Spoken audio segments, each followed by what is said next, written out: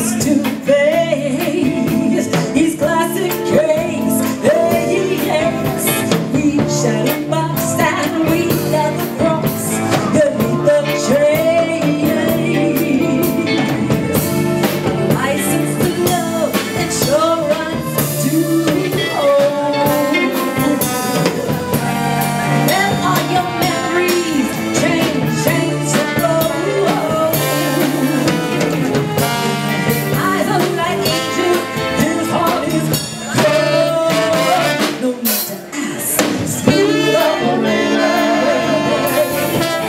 sweet.